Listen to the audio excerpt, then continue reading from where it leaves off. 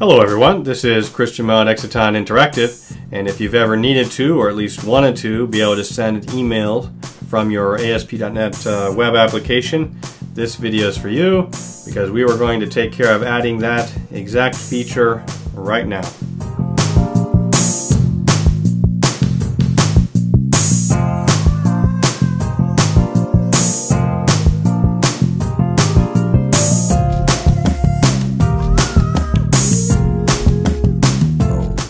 Alright, so let's go ahead and get started now. So the first thing that we're going to do is to uh, install MailKit. So we'll go to Dependencies, Manage NuGet Packages, go with the Browse, and like I said, it's MailKit. And first one here, so at the time of this video, we're going to install version 2.0.6. I know you can't read that very well. Give a second to install everything. And we're good to go there. All right, so the first thing that we're going to do is to, um,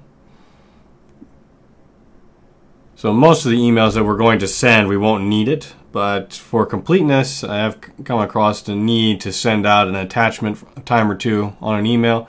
So while we're at it, we're just going to, to take care of that. So I'm going to go into our features folder, inside the messages or messaging folder. Right click, add new class. Not surprisingly, we're going to go ahead and call that class attachment. All right.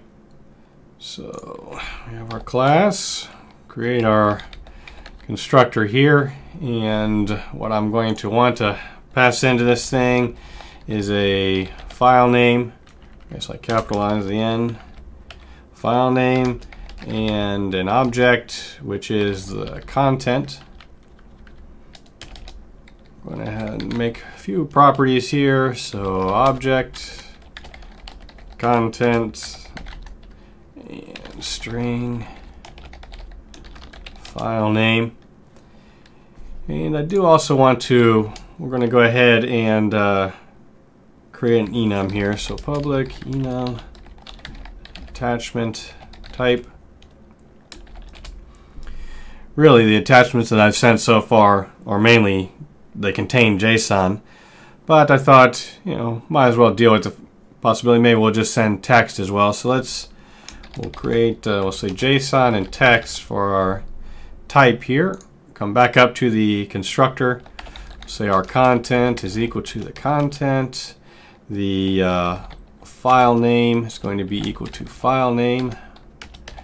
Oops, and of course I forgot to make a property. So property and attachment type. We'll just keep it with type. Come back in and say type. Type, we're just going to default it to text. All right. So uh, what we need now is We'll see later why, but uh, what we're going to head and do now is to have our attachment here automatically be able to take the content and we need to um, take that and spit out a stream for it. So make a, a method, an async method, task, and why do I have it as task? Stream. Fix that. So content to stream async. All right. So now we'll start off by saying string text. We're going to switch on the type. And uh, let's keep them in alphabetical order, I guess. So text is going to be equal to newtonsoft dot json dot json converter dot serialize object and oops content.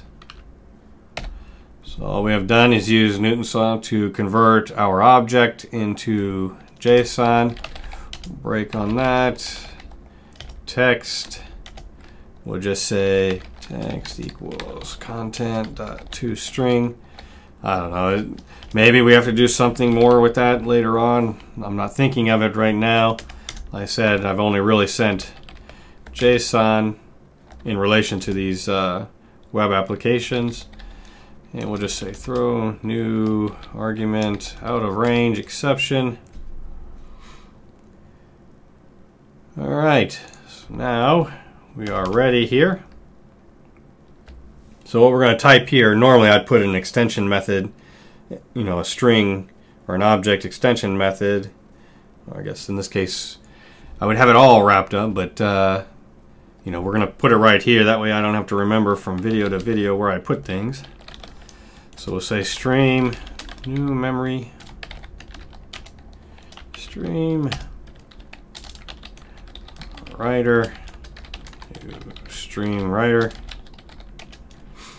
And pass in our stream and the encoding. We'll just use UTF-8 use whatever you want. We'll wait. Writer dot write. Oops async. Pass in the text. No beeping at me. Wait. Writer dot flush async set the position back to zero, return the stream. All right, so now we're able to convert the content that we pass in to a stream so they can be attached to our email. And while we're here, we'll just clean these up. So our attachment is done. So let's go ahead and close that back to the messaging folder here. What I'm going to do is add new item and I'm going to use a, add a new interface. So we're going to create the service that we're going to use to send out emails. So I'll say i message service.cs.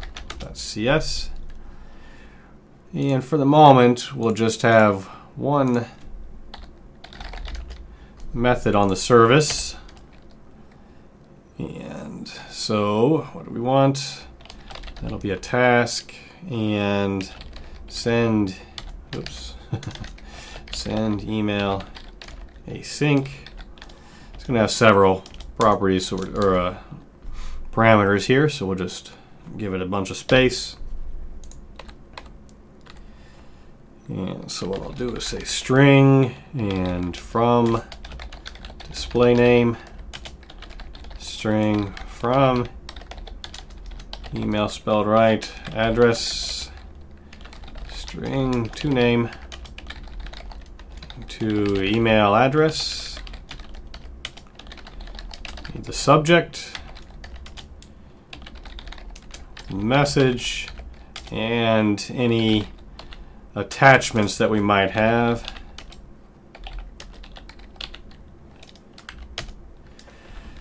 All right. So we have the one method. I like to keep it uh, some, you know, sort of base class. So I don't need or you know base type, so I don't have to you know new up some object to send off an email if I need to. In the end, we'll have more methods that will you know encapsulate some settings for these. So go ahead and save that. Time to add a new class here. Not surprisingly called message service. All right, so come to our message service here. We'll just get rid of all of these. Need some of them in a minute, and we're going to implement the iMessage service. Go ahead and give me all my stuff. A little bit hard to read, so how about a moment of formatting?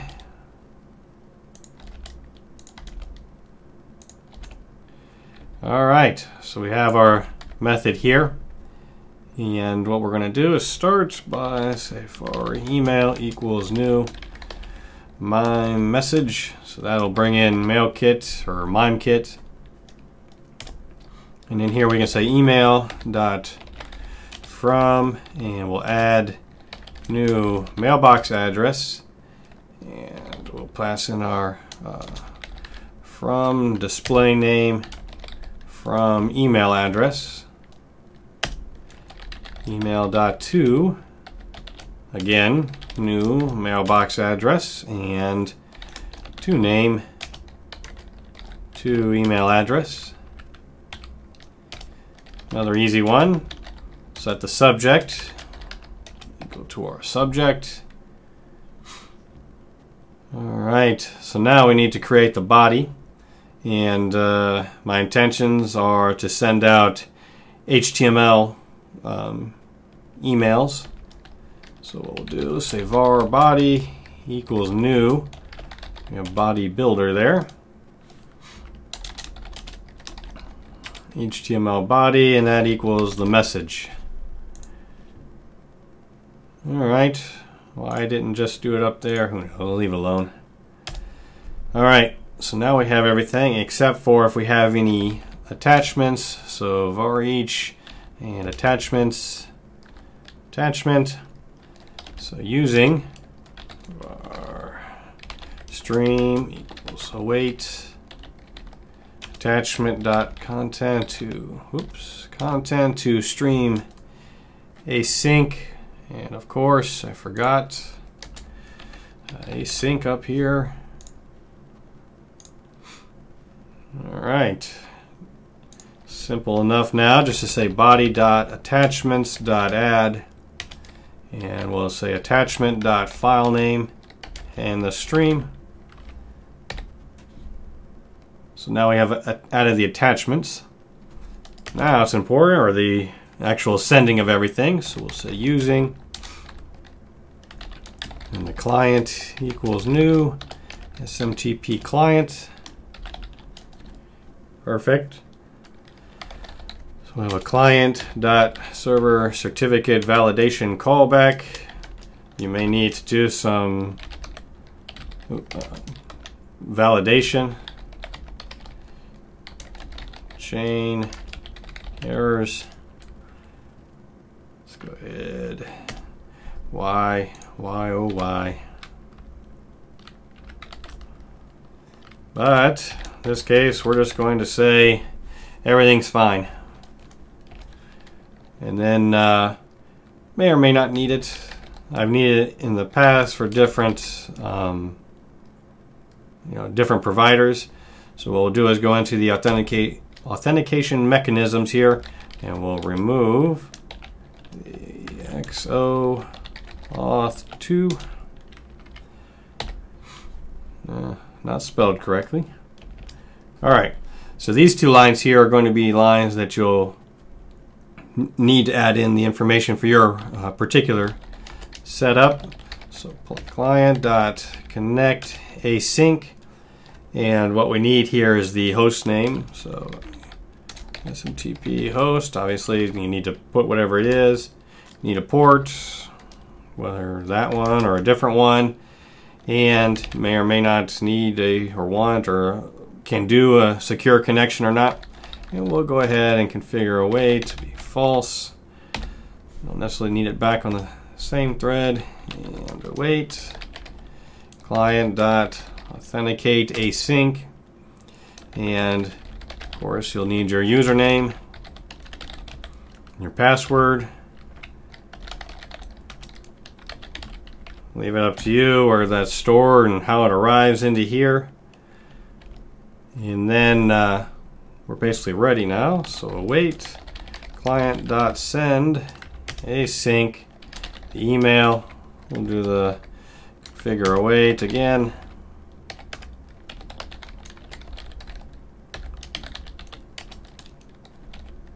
Disconnect, true.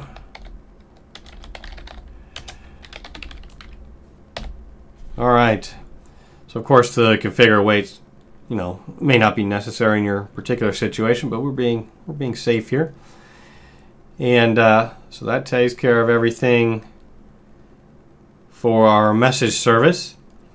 Now we are going to want to be able to, you know, send an email from either different controllers or different pages or whatnot. So we might as well just make it so that we can inject this service wherever we need it. And to do that, we'll go into the startup.cs uh, class here and we'll come down here. Got a little uh, services here going on, so let's go ahead and put this services add transient. We'll take. We ask for an I message service, we want a instance of the message service class. And with that done, we have now set it up so that uh, we can send email messages using uh, MailKit within our application. In the next video here, we'll actually use this to automatically send emails if our application encounters an exception. I'm just paranoid. I want to know if an exception has occurred so that I can at least attempt to fix it.